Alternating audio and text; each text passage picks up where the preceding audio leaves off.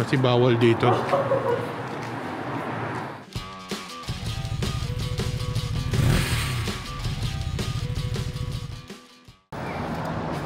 We're on our way to Toyota Commemorative. So if you're going from the Meiteisu train station in Nagoya, you take uh, one train stop lang, Sako. Sako Station. So pag exit mo, so this one is wait lang ha, ikot natin. So when you exit the south gates, yan yung south gate of uh, Sako Station. So ikot mo. Merong door dito sa right. So sabi ng Google Map, we just follow this. And then you turn right.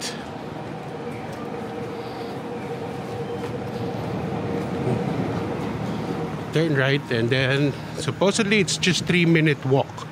So hopefully totoo yun. Unless mas mabibilis yung tao maglakad dito. Okay, so we walk for 3 minutes daw. And we should be there. Uh, from sa from Nagoya station to Sako station, it's 170 yen. Uh, so, bibilin mo yung ticket.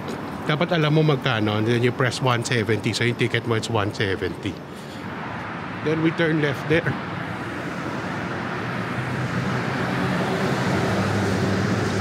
But the weather is nice and uh, sunny today. Ay, Nagoya. Pumunta ng Nagoya. Pero Nagoya, compared to Tokyo, Osaka, parang walang tao dito. It's very quiet. It's a very quiet prefecture. Is that what they call it? Sobrang tahimik eh. Pati last night, it was Friday night, we went to Osu District. Walang tao eh. And they close early ah. We were there 7. Mga 7, nag-start na mag-close mga shop eh. Okay, let's cross. You know, today's Saturday. There's not much cars eh. Ba't parang lumayo tayo? Maybe 5 minutes. Kanina 3 minutes lang tayo eh. Kasi meron, it's here. Similar ito eh. Either because here, O sige, diretso na tayo. Yan, habang go. So, naligaw na kami. Yung 3 minutes walk. Ngayon, 6 minutes na. Kasi sinasabi niya eh. So, ibig sabihin, lumayo kami. Okay, we're ro- walking back. Sabi mo, follow ko. Buti na lang the weather is cold enough to be walking.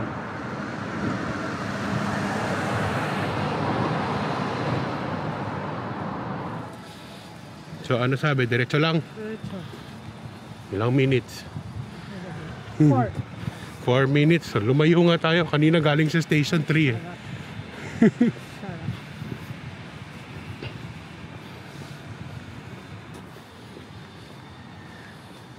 Yun? Hindi ko alam. Ano sabi? Diretso lang eh. May cross natin. Ah, sa akyat tayo. Yan ang cross? I guess. Dame! Walang ibang daan. Sarado. Ha? Tama, parang sarado. Parang sarado. Look, it's closed. It's close. So I guess we crossed there. Nasaan ang Toyota? Nasa right side? Nasa left side?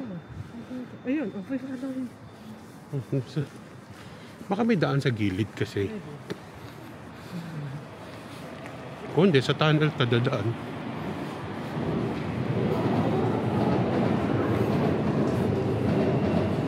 Sa tunnel ka dadaan.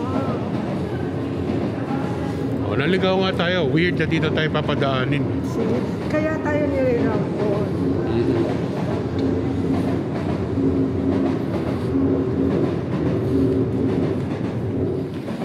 Kaya nire-route kasi walang ano. Mm-mm. Ay, bakit wala ko? Kasi bawal dito.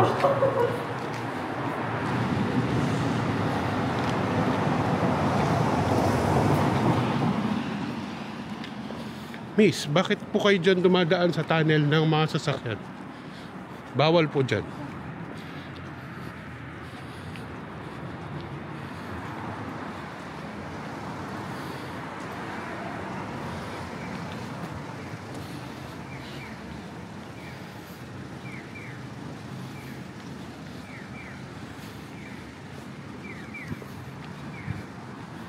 May tawiran ba dyan o nasa kaliwa ang tawiran? Ayun oh, kaliwa na tayo. Ha? Ha? Kaliwa na. Tapos ganun. Oo. Ayun na yung Toyota. Oh. Malamang yan na yun. Laki-laki nakasulat Toyota eh. Oh, we're here. Pero parking yun yeah. Ayan oh, we can enter here. How? Yeah, here. Closed. Huh? It's closed. Why? There, it says closed. Or is the office only closed? Well, let's walk inside. Was it holiday today? Kasi they keep saying about something birthday, birthday. Pero ayun, no? Oh, Ayun yata. okay. Oh. Hindi, may mga buses. Kasi dumaan tayo sa parking entrance sa likod. Kasi nga naligaw na tayo. Doon yata ang entrance. So this is the first factory of Toyota? This is the Toyota factory. The first, the first. So nagiginawa na nila museum yata. Ito yung maraming car. No, no, no. Automotive yun. Oh. The automotive is a car automotive museum owned by Toyota, but it's not a Toyota museum.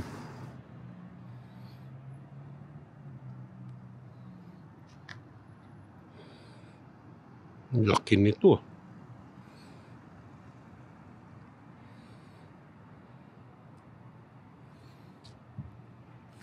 So doon kami galing sa looks like parking entrance south gate nga.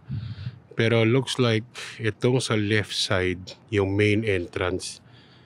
So we're going to go to the main entrance now.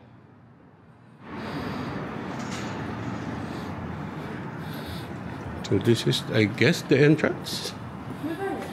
Meron 500. Ayan oh.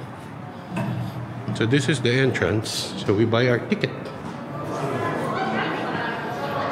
It's 500 yen. Ayan oh. So we can buy here.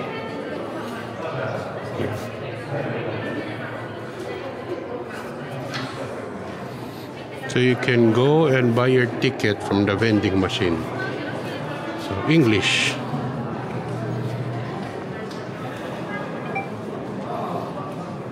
Adult. Two. Confirm.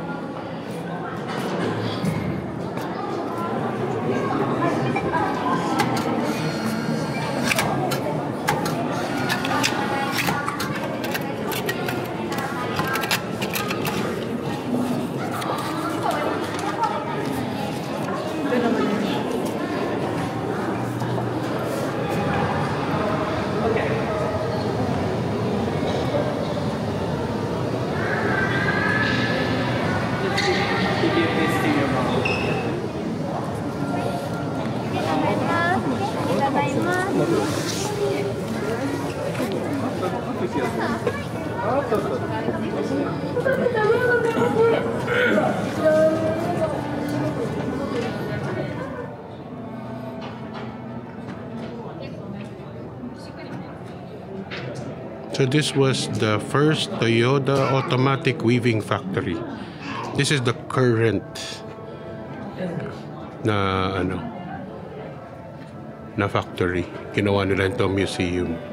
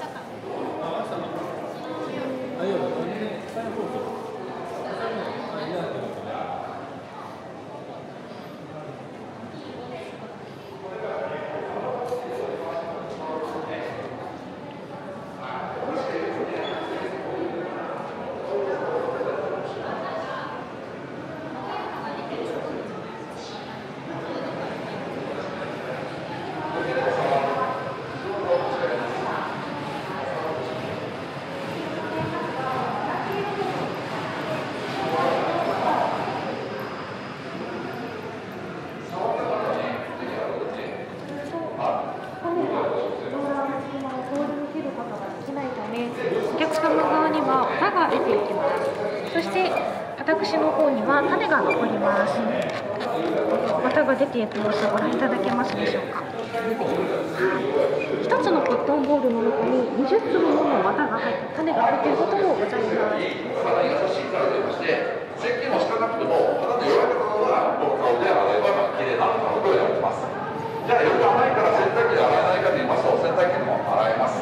ただし、一応念のため、熱風を入れましたら、熱風のが出てくることはないと思います。はい。で、これ欲しいって思われる方は、売店にあります。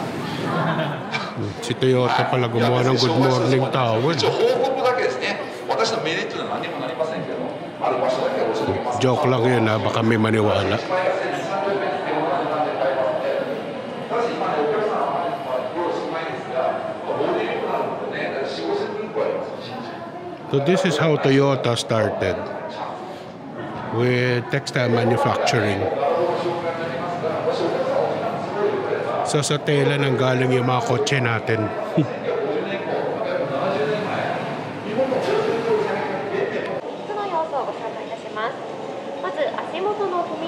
so they're showing how textile are weaved. 続いて左と縦糸の間に横を通す。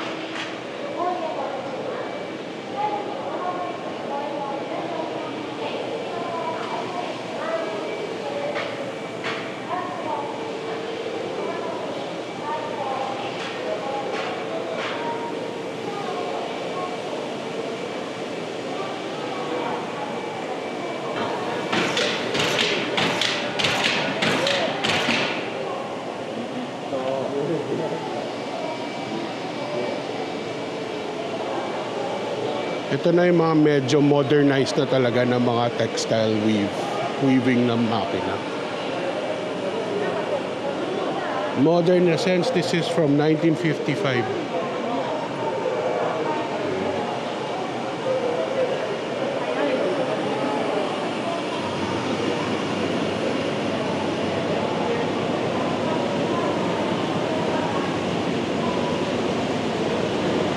Automatic loom, 1958.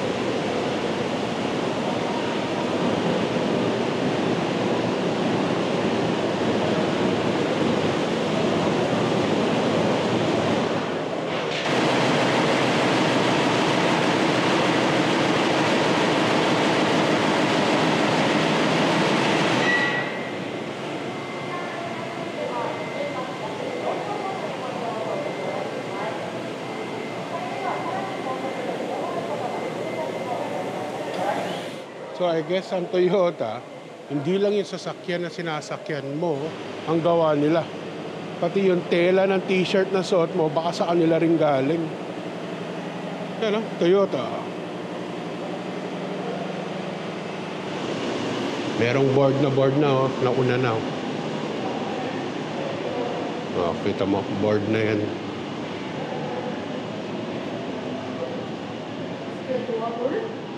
Board na you? Rep. Board na you? Subscribe. Sandali. After this, mag-shopping yan. Magsha-shopping na yan. Pagbibigyan lang niya ako tong umaga, tapos magsha-shopping na yan mamaya. May, may board na, ito with tsura. Oh, okay lang. Nagpo-work ako. Ah, Sorry. okay lang para sa ilong galing. Nagpo-work ako. May mga work. Marami ko ito boss.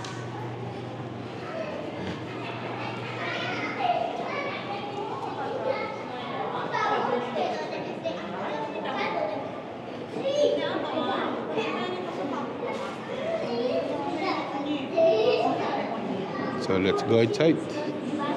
Nagsa-stamp ka ba? Ayun yung next stamp mo, oh.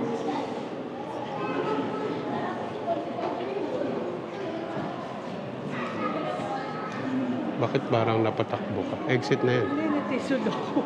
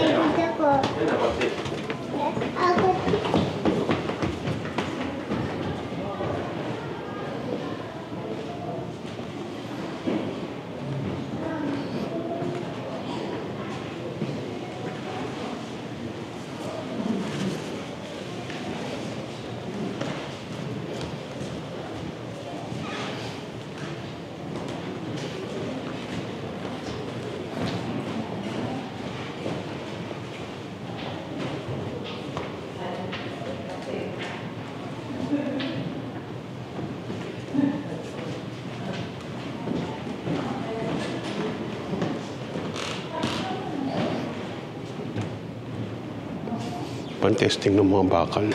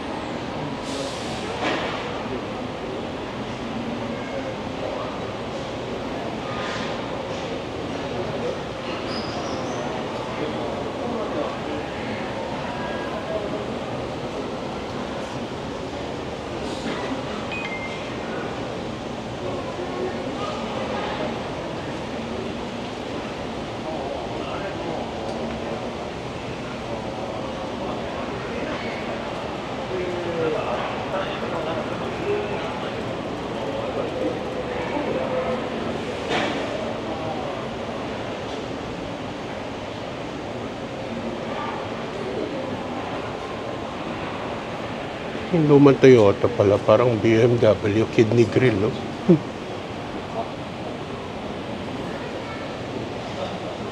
The Toyopet Crown.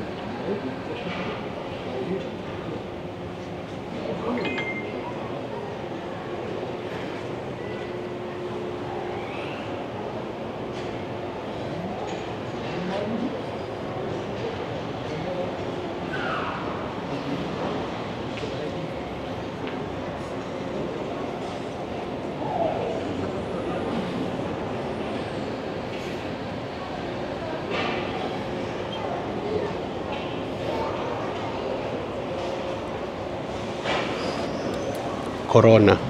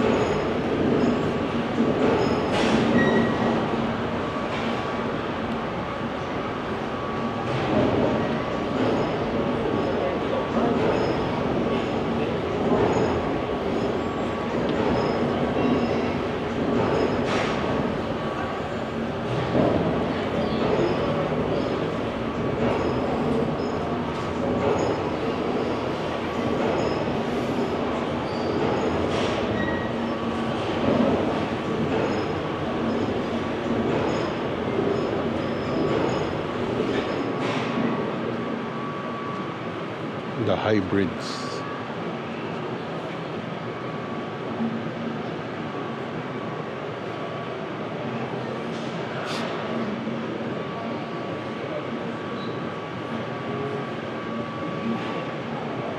I think Toyota was the first to make the most successful hybrid with the Prius in uh, the US. eh. I'm not sure. This one, what model is this?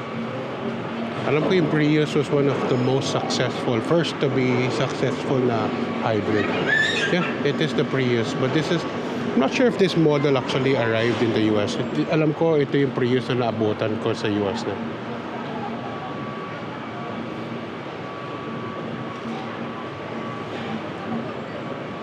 The hybrids.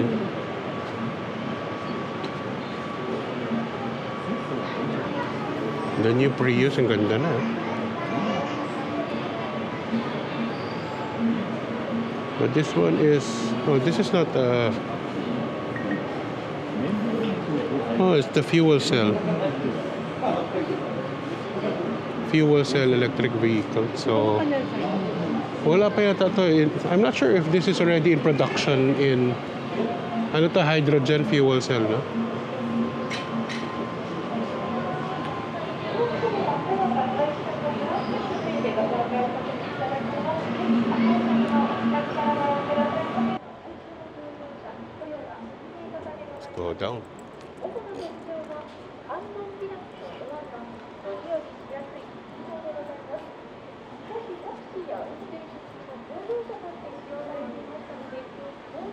natin, sayang hindi natin maintindihan. Hindi natin maintindihan.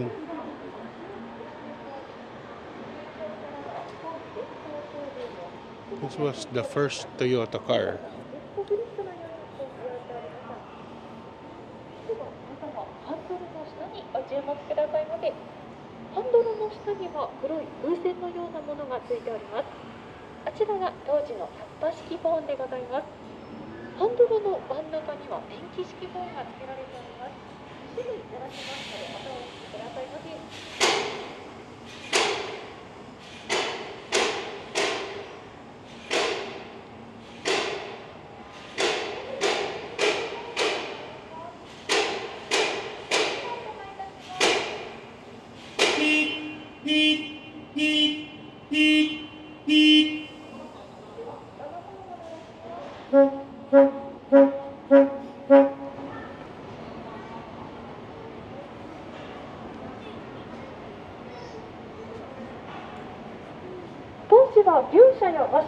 走っていたため電気式フォンは動物が驚かないよう市街地などでは使用が禁止されておりましたまたハン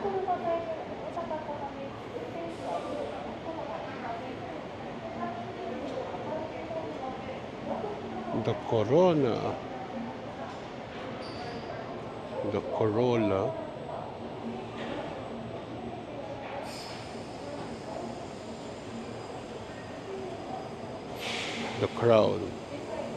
Grabe.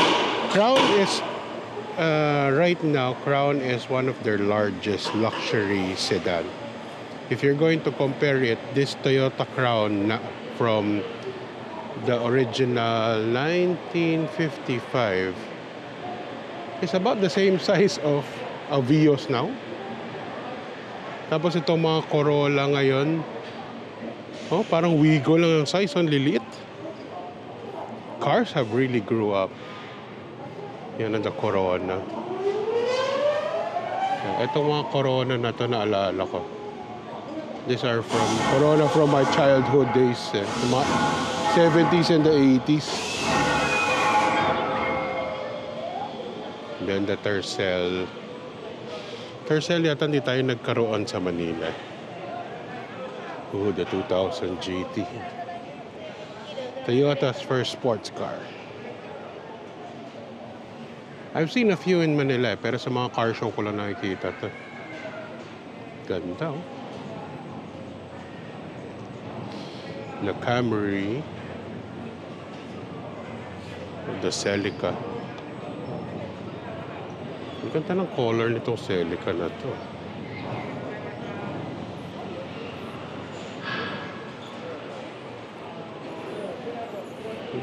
Ganda talaga ng mga 70s. Yung mga 80s, wala. Sobrang boxy. Oh, like this Camry, the Soarer. The Soarer is... Ito ba ang parang grandfather ng mga Supra yata eh, the Soarer. Ano? Yep, it has the inline 6 2.8 liter na makina. And of course,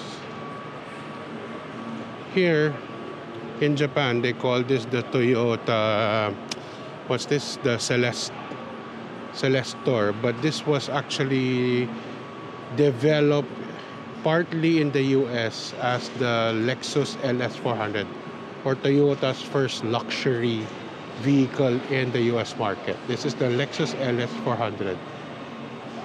I remember being able to drive this because a friend of ours had this in Guam. Sobra akong naalyo. This was the first car na nakaride ako that had a built-in subwoofer. That's a Nakamichi system. Yung US market, ah, I'm, I'm pretty sure it's also has a nice sound system here. I'm just not sure if yung sa yung sa Japan version also had a Nakamichi. Tingnan na natin. Uh, Cellshore doesn't say if it's a Nakamichi. Pero yung sa US, it says Nakamichi. Yeah, this is the LS400. And I think this is the first V8 also of Toyota na mass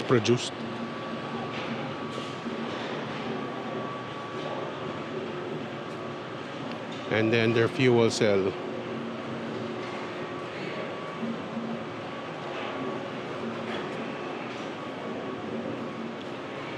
And right over there is the LFA.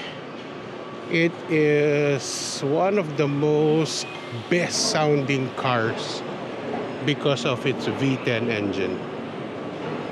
You know, the LFA, the Lexus LFA.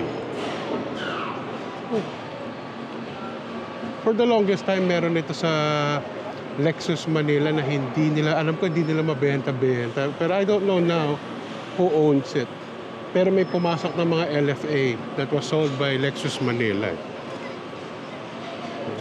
Look at that exhaust tip. Um,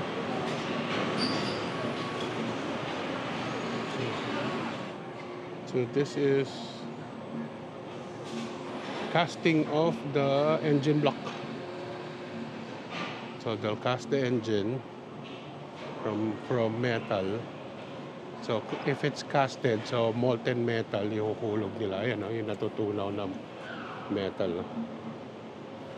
From the... Ano. Then they'll pour it to the casting na, the shape. Ayan. Ano, mga metal parts. And then this one is the connecting rod na forging machine. So basically, this is being forged naman. Sa high pressure, yung metal, solid metal, solid metal, ilalagay doon sa sa die tapos ipapress until it forms to the parts that you need. Tapos isa-stamp para maputol. Ititrim nila yan. Ayan. Same with here. Oh. Ito rin, oh, it starts off with the material. You know, if you notice, oh, from that metal, magiging crankshaft yan. Yeah, sa dulo, magiging ganun, the crankshaft. And then this one is, uh, ayun, yung crankshaft. I guess they're cleaning the crankshaft after it's forged. Yan, aayusin, lilinisin. Tapos ito naman, the end, uh, casted na engine block, imamachine para pasok yung mga piston. So ito, it started rough na rough pa. They'll smooth it out. Tapos imamachine nila. So let's see how it works.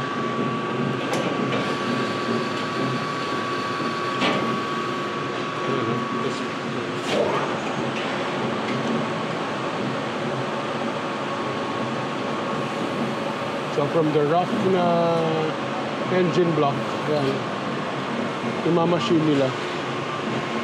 Yan, oh, every step eh, konti-konti. Hindi pwede biglain eh, baka masira. So I guess it's eh, iba-ibang gauge yan eh. Panipis, ano, ah, pa-smooth ng pa-smooth.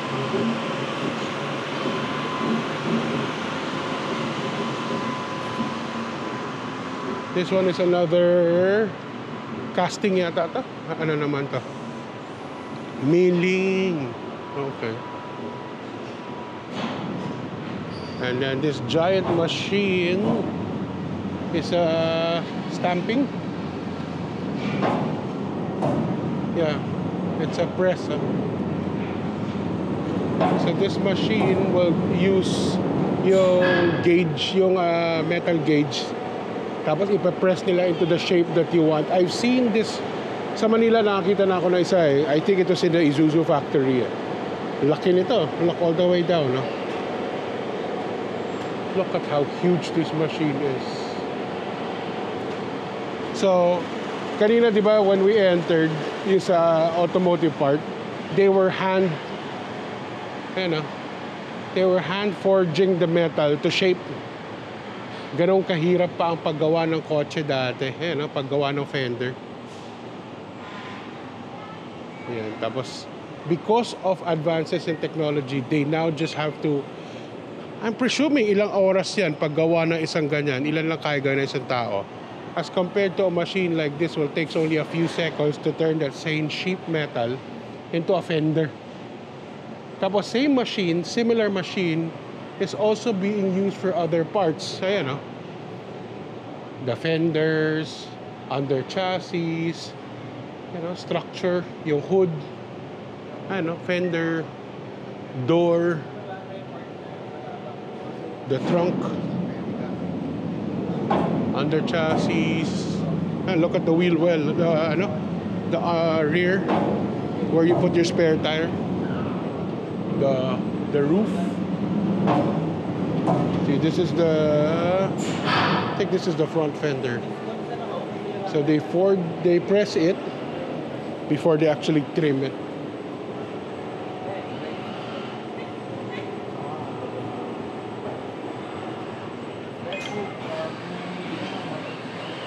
So these are the other parts.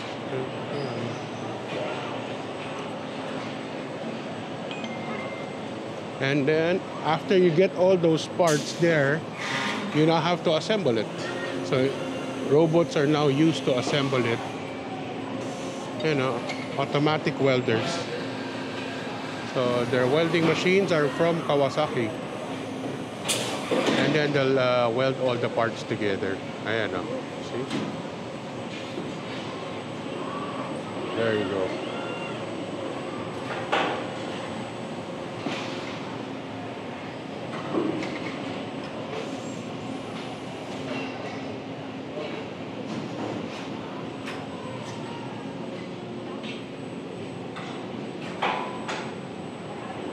There, they're going to assemble the parts now.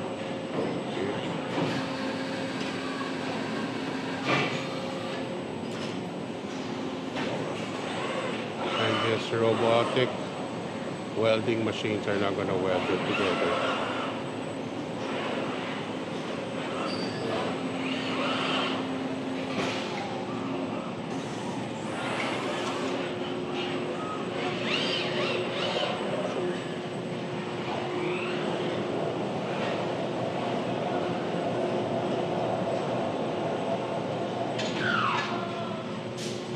And then this is just adding more welding.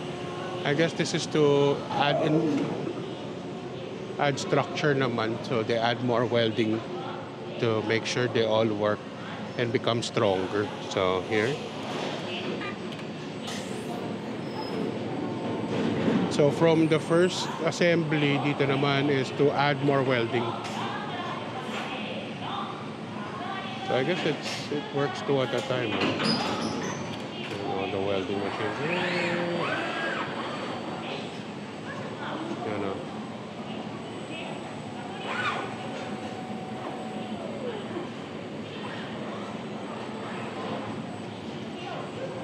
Grabe, robots.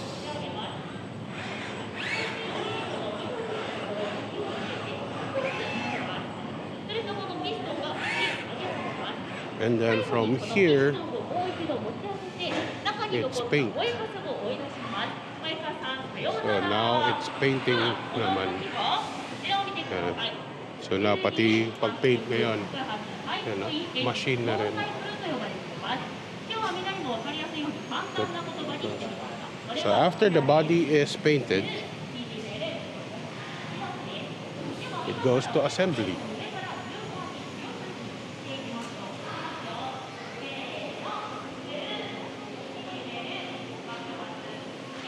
So it now uses robots to assemble the parts. So yun yung kaninang pininturahan, winelding, and then the interior parts. Now it's time to assemble all of them together. So kasama yung under chassis, engine. So let's uh, press the button for the demo.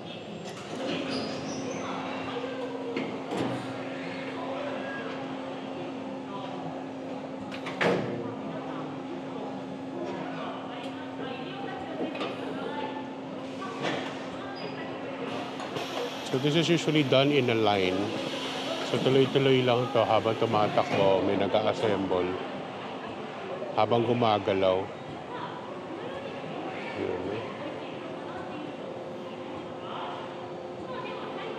Engine, suspension, exhaust naman. So it's now marrying the the mechanical part to the body.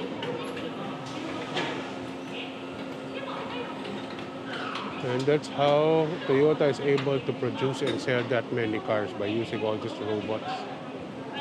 Galing, eh? Yun yung mga humahawak kanina. So pag na-assemble na yan, I think the next step naman dyan, pagkabit na ng gulong. Diba?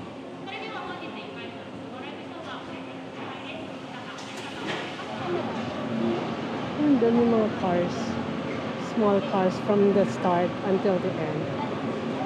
This one, the white one. Yeah, I'll take a photo. Yeah. Sandali, nagbababay pa Oh, bye-bye.